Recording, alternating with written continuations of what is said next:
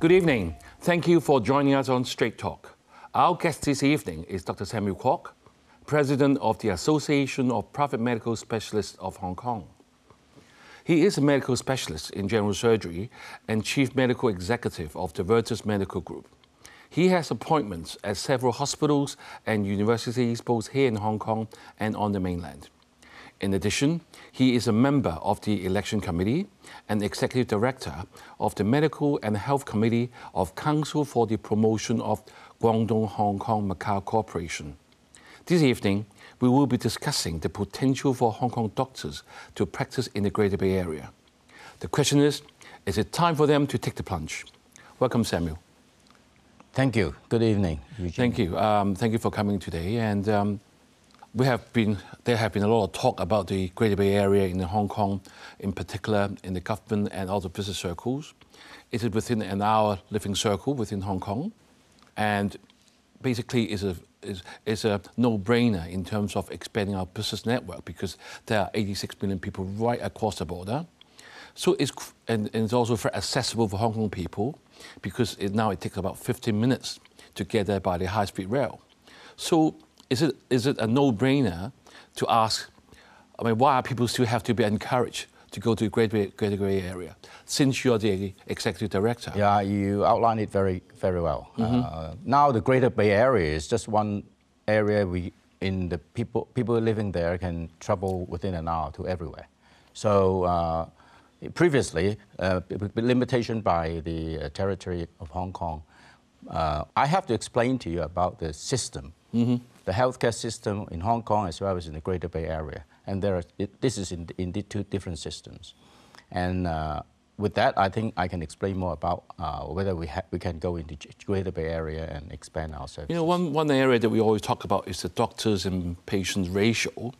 In Hong Kong, is about every 1,000 people we have two medical doctors. What are the situation over the Greater Bay Area? In fact, if you talk about number of doctors, we um, in Hong Kong is the lowest two uh, for 1,000 uh, population. But in the China, mainland China, we have more than two, maybe mm. 2.6 or 2.7. So looking at the sheer number is not enough to understand about the healthcare uh, sector, the, the, the, services. Because most people uh, have to uh, have the basic general medical care, but on top of that, we need specialist care. In Hong Kong, the system is that you, you can visualize the Hong Kong system as a three-dimensional structure, for example. You have uh, cover a big area of different, different uh, needs. And then you have the private sector and the public sector. And uh, on top of that, now we have also the primary care services, which may be on the first floor, and then you, you, you, go up second tier and third tier into the secondary and tertiary care provided by medical specialists. So we have that, that kind of system. In Hong Kong, the division between public and private, if you talk about primary care, private, private sector constitutes about 70% of the care, so more, more private. But if you talk about pub, uh, the specialist care, hospital care, you're talking about 85 to 90% of the care are in the public sector, hospital right. authority. So um, now uh, people talk about lack of doctor in Hong Kong. Mainly is the lack of doctor in the public sector in Hong Kong, in hospital authority. Right. So, Dr. Kwok, so far you have outlined the, the picture in Hong Kong. Perhaps mainland, I often hear about the hospitals. Um, they always, everybody, when they're not well, they will go to the hospitals, and the private sector is basically on the minimal side. So, how many hospitals will there be in the Greater Bay Area? Do they have adequate number of hospitals, or they are they have too many? The system in China is totally different. It's a socialist care system. So um, the hospitals are categorized into uh, provincial, uh, cities, and then you know villages. So we talk about big hospitals, the 3A hospitals, and those are the big hospitals that people go to. All this kind of care, primary, secondary, tertiary, whatever, they go into hospitals. So the system is different. And they didn't even have the system for medical specialists. And they, of course, they are experienced people in doing different specialties, but they go according to the rank. If they promote into, you know, chiefs and then uh, higher, then they become specialists. But we have different systems. We have certification for medical specialists in Hong Kong, but you don't have that in China. So talking about these two different systems, uh, of course, uh, in the longer term, we have to build and, and construct a prosperous Greater Bay Area. We need to go hand in hand, go together. Right. One question is, when you're saying that we have different systems, which is fine, um, how accessible is for the people in GBA to go to seek medical care? The people in, in China, or all over mainland China, they are basically covered by the national insurance system. So they go in the hospital, the national insurance system cover them. So the price is kind of regulated. And most people would, would have that. But in the bigger hospitals, they have special wings, maybe divisions, that do uh, kind of international business. So they can charge more, maybe four, four to five times more. And those are for the people who are you know, more affluent, they, they can pay, or they have better insurance, like medical, uh, the private medical insurance, or for expatriates. So we have about kind of 10% uh, people can go for this kind of semi-private market in right. China. So you just mentioned that the most of the population will have their general insurance by the by the state, and expatriates they have to go into private. private of, yeah. I mean, are they readily available? Are the standard good over in GBA for, in that aspect? Now, um, this kind of public and kind of public-private system all run by by the state, basically. You know, mm-hmm. it's government. But of course, now we, we see uh, private hospitals, really, but they are just a few in the Greater Bay Area, uh, mainly uh, invested by Hong Kong people or some overseas uh, money. So they can have a totally private setup. Mm-hmm. But those are small. So it's not uh, uh, a big way that people can go into. But knowing that the um, Ch- China is, you know, becomes more and more prosperous, people are more wealthy, this market is big. So uh, we expect to see more patients maybe seeking private private sector uh, healthcare system right. So, in I mean, China. We had um, Dr. Dennis Lam here last week, and he's commented that there are world-class medical institutions in the mainland. However, because the country is so big, then there's a, a, quite a wide range of standards. So how does will Hong Kong doctors have a role to play in that in their area where there are quite a wide range of standards. That's quite true. The system uh, or the standards of different hospitals, different settings, even different uh, professional personnel are quite different. You know, they're differently accredited as compared to Hong Kong. So the system is you know, just various uh, in different places. Not that they're not good, all right? mm-hmm. uh, in Hong Kong, we are more, uh, you know, systematic. Right. We have systems uh, better, and, and maybe if you talk about doctor, even the qualifications of doctors are divided into two, two groups. One is general practice, and the other is the medical uh, specialist, which is accredited by the Academy of uh, Medicine in Hong Kong, which is a uh, well well known uh, standard of uh, uh, qualification. Right. But in China, they don't have this. So it's even difficult to say who is a medical specialist in China. I think in, in, in this respect, Hong Kong can help out in importing standard, mm-hmm. uh, more international kind of standard. So basically, like more like for, benchmark for yes. different things, yes. like institutions, like the professional uh, people, uh, qualifications, doctors, nurses, and other allied health. So those would be important. Yes. We can, these two systems can co-evolve like an ecosystem, and then uh, we go hand in hand. I think together we complement each other. Hong Kong and the Greater Bay Area can make uh, uh, the Greater Bay Area, the healthcare sector, into a higher level, another level, mm-hmm. for higher quality services or high-end uh, services provision for the whole region, for right. Asia, right. even. You know, in Hong Kong, one area we often talk about on Straight Talk is we have a what we call an aging population.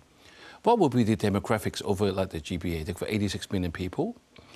From your point of view, do they have a similar sort of demographics like Hong Kong, or they are more of a younger generation? Um, now, Hong Kong is aging, everybody knows. We have about 19 to 20 percent of uh, people over, over the age of 65 uh, as of today. Yes.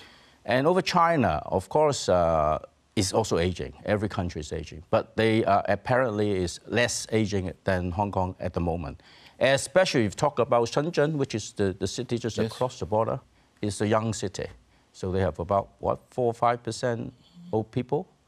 So, uh, so the demographic is very different. In Hong Kong, because of the population as well as an aging population, we, the disease load is high. Right. So we have more and more peop- uh, patients to see, both in public and Right, Many people said that in mainland they have a, such a vast population, therefore you see a vast number of diseases and more variants of presentations. Do you agree that would be a good thing for the Hong Kong doctors to actually to really practice what what you have been trained for? That's uh, uh, both for practice and also for learning.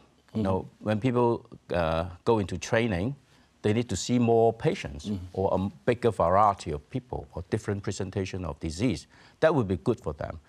So I think that is one, one aspect to look at it. If we want doctors in Hong Kong to really go into the Greater Bay, first of all, they have to know uh, the other system. Right, I see. They have to you know, see more patients there. So start with uh, you know, students, medical students, and then medical trainees, specialist trainees, and then Right.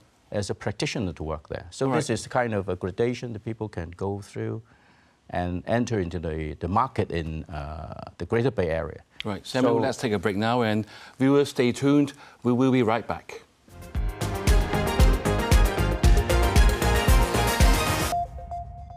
Thank you for staying with us. We have been talking with Dr. Samuel Kwok about the healthcare system in the GBA mainland cities and how Hong Kong fits into the overall GBA picture in the healthcare arena.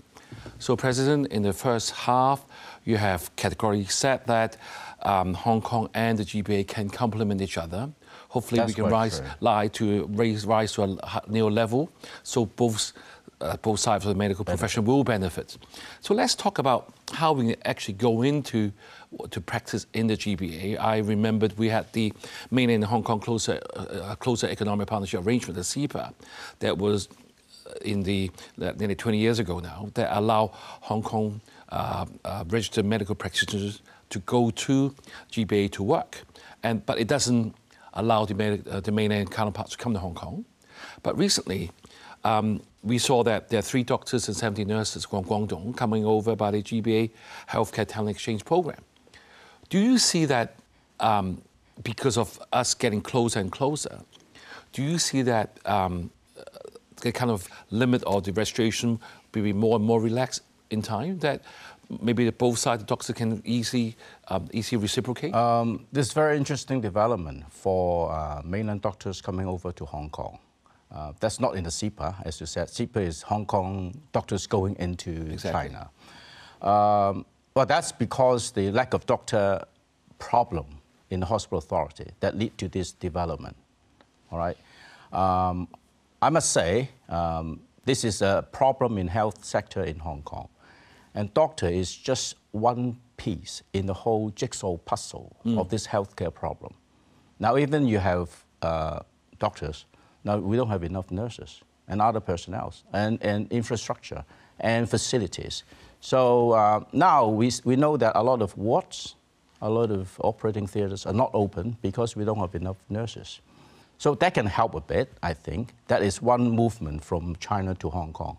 But I think the other movement is for Hong Kong doctors to go into uh, the Greater Bay Area, into China. And that's been open for some years, as you said, in the CEPA. Uh, now, nowadays, I think uh, doctors who graduated in the year 2002 and before or before, they can just apply for uh, uh, a license to work in China, provided they have the qualification of medical specialist in Hong Kong. So you think about that, that's 20 years experience. Very experienced doctor they're expecting. So I think um, this, uh, although it kind of allow, but it's not allow in a, in a, in a big way. right, but will the general practitioners of Hong Kong be able to go to the mainland as well? If you're according to this uh, regulation, they're not. Unless you belong to the family medicine specialty. A- As, yeah, yeah. You have to be a medical specialist. So uh, they're not allowed. Of course, there are bits and pieces, uh, little institutions, they can apply uh, specifically for specific doctors, but in, not in a general way. Those are barriers that we need to really work out to allow bigger influx of doctors. So, into- President, one area that you have said very clearly in the first part of the show is that while Hong Kong are having so-called a shortage of medical doctors, and let's not talk about the all the other personnel, is mainly in the public sector. That's true. Whereby in the private sector, not everyone's going to be very busy because it is a private, private choices by the, the patients. So does that mean that being able to, as specialists, being able to work over the border and be able to develop a new line of business, so-called, in the Greater Bay Area, will be a good opening for our, our specialists in Hong Kong? That's true. Um, as I've said, that um, the if you talk about the medical specialist sector, 85 to 90 percent of patients in the hospital authority, and just 10, 15 percent of patients in the public sector. But you, if you talk about the number of doctors, they're half and half. So a lot of doctors in the private sector serving much less number of people. Mm. All right, so there are a lot of surplus in capacity. In capacity. Right. So where do they go? I think what happens will be doctors go where patients go. I think, of course, there are some patients coming over from, from China to Hong Kong. That's quite true for the, you know, in the private sector mainly. And I, recently, I've, I, have seen people from Hong Kong going back to China.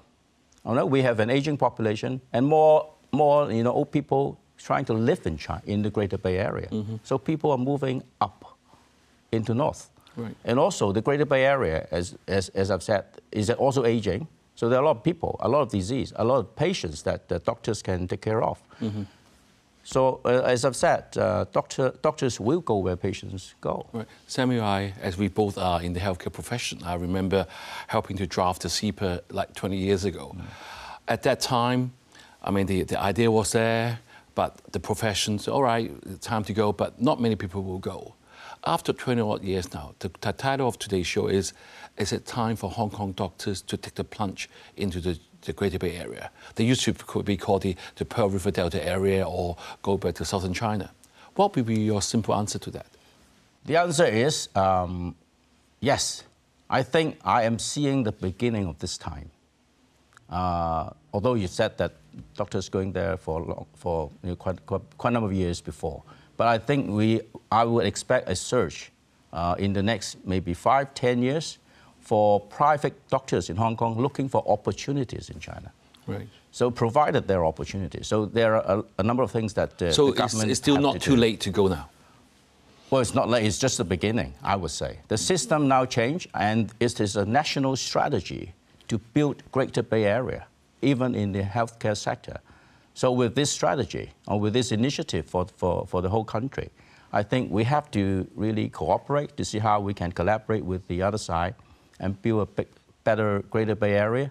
And doctor, doctors and the healthcare sector is, big, big, is definitely one of them. You know, our University of Hong Kong has a teaching hospital in Shenzhen. Has that helped to set a standard, so-called, or how much has it affected the, the medical landscape? In, in, in the Greater Bay Area, in your view? Um, of course, uh, our university is not going north to, to the Greater Bay Area, and Shenzhen Hospital is, is one, one step early and is already many years. and there are Hong Kong yes. doctors in there working as well, so to set some kind of standard. So that would be an example. But if you have to influence the whole area, you need a lot more doctors. You have to, you know, go to uh, their hospitals and also uh, some new hospitals may be invested by the Hong Kong uh, uh investors. And I know that there are the policy now favoring this because uh, the listed Hong Kong drugs and the medical devices can go into China in specific places, right. selected sites. There's something that, uh, that, uh, that in, incentives yeah. to yeah. help Hong Kong to you know build up more, so that uh, we have more investment there, and so that open up more job opportunities for doctors, for, for other professionals, and then doctors can go. I think if you, you talk about doctor going into China, it's not solo, solo doctors. Never happen.